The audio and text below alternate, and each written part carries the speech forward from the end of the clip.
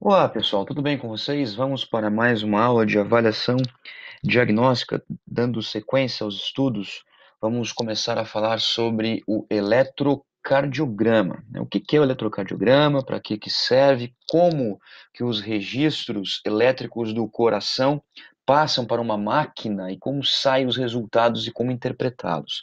Bom, o eletrocardiograma serve para registrar a atividade elétrica do nosso coração. Nós possuímos eletricidade no nosso coração. Nós possuímos impulsos elétricos que estão relacionados, inclusive, com a ejeção de sangue do coração para que seja levado para todo o nosso corpo. E são os impulsos elétricos que estimulam essa contração e também a distensão do músculo cardíaco, do miocárdio no caso, que é um músculo estriado. A grande utilidade é, do eletrocardiograma na cardiologia é justamente para auxiliar no diagnóstico, até mesmo de prevenção, tratamento de algumas doenças. Mas é importante falar que a cardiologia não trabalha apenas com o eletrocardiograma, trabalha com outros exames. E todas essas disfunções elétricas do coração que podem aparecer no registro de um eletrocardiograma devem ser confirmados com exames complementares. Então, o eletrocardiograma ele não é ele não é um exame que vai dar um diagnóstico preciso. É necessário que se tenha outros exames e o médico sabe muito bem disso para que seja diagnosticado uma possível doença até mesmo no tratamento em caso de já diagnosticado. Tá bom? E lembrem-se que o exercício físico, ele, ele modifica toda a estrutura morfológica do coração, anatômica do coração propriamente dito, e também as questões fisiológicas, né? De uma forma bastante positiva, só que em excesso ou um exercício mal prescrito pode causar problemas de ordem cardiovascular. Bom, mas como funciona então, né? Como de fato acontece toda a condução elétrica e como que isso aparece num eletrocardiograma? Bom, o eletrocardiograma é um desenho gráfico que são representadas pelas letras P, Q, R e ST, e elas possuem modificações gráficas que representam situações fisiológicas do nosso coração, situações elétricas do nosso coração. Então, o sistema de condução elétrica do nosso coração é composto pelo nódulo sinoatrial, né, ou nódulo sinusal, também chamado de nódulo ou nódulo, tanto faz. Um nome que fica próximo à veia cava superior, e este é um marcapasso natural do nosso corpo, tá? É porque ele determina a frequência é, cardíaca do nosso coração, ok? Nós temos um outro nódulo que se chama nódulo atrioventricular. E esse fica do lado oposto do átrio, e é ele que recebe o estímulo provindo do nódulo sinusal. Tá? Então, o que acontece? Nós temos aqui no átrio, nos átrios, né, o nódulo sinusal e o nódulo atrioventricular que começam, propriamente dito, os estímulos elétricos para começar então o bombeamento do sangue. Agora, o nodo atrioventricular, que se localiza do lado oposto do átrio, ele recebe esse estímulo e manda para o feixe de His.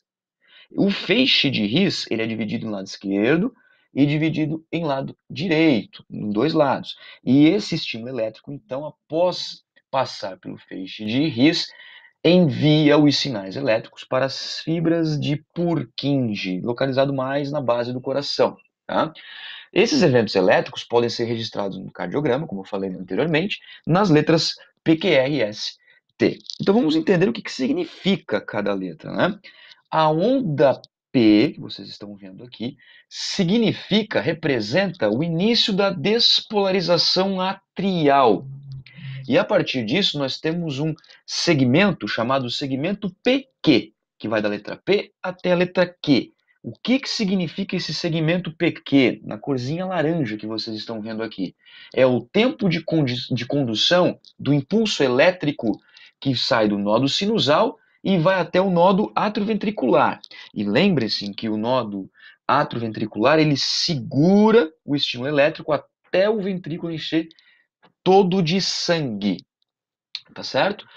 Nós temos um outro complexo chamado de complexo QRS, corzinha vermelha, roxinha e azul. O complexo QRS marca o disparo do impulso elétrico pelo nodo atrioventricular e representa despolarização ventricular.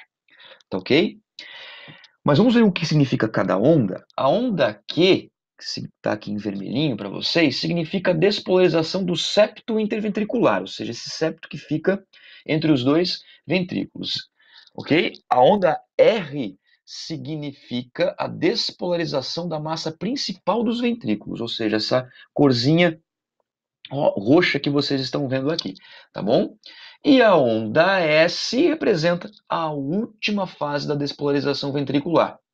Então, esse complexo todo representa a despolarização do ventrículo, tá certo?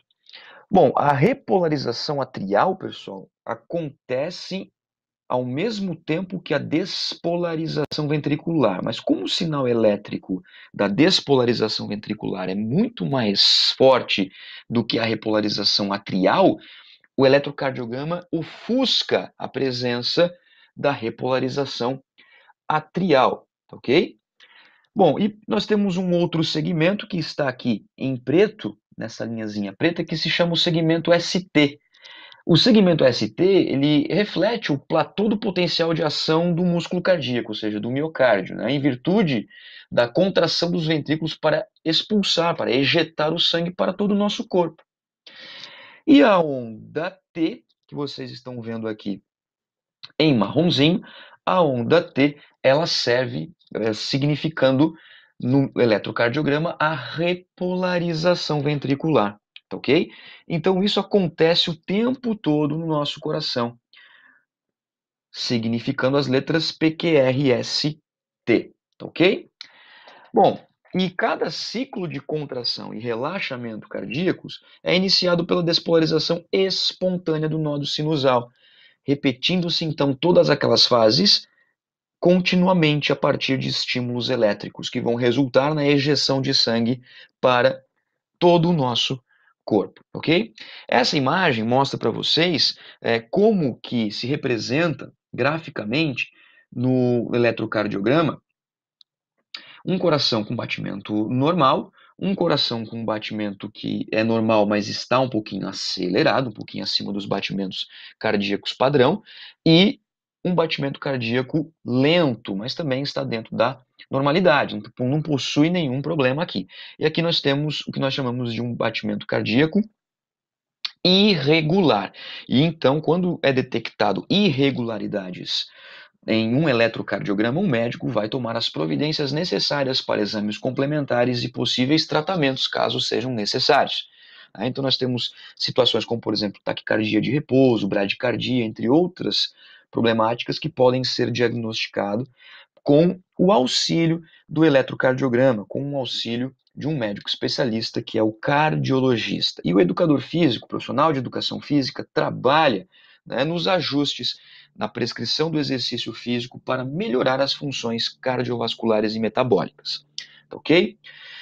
Então, pessoal, nós temos aí é, o nosso coração trabalhando sempre em conjunto com os estímulos elétricos com toda a sua funcionalidade que pode ser modificada positivamente pelo exercício físico. E lembrem-se que o exercício físico precisa ser muito bem prescrito, muito bem orientado, para que realmente se tenha os benefícios do programa de exercícios físicos. Tá ok, pessoal? Dúvidas? Tragam para a sala de aula. Eu agradeço a atenção de todos vocês. Um forte abraço e até a próxima.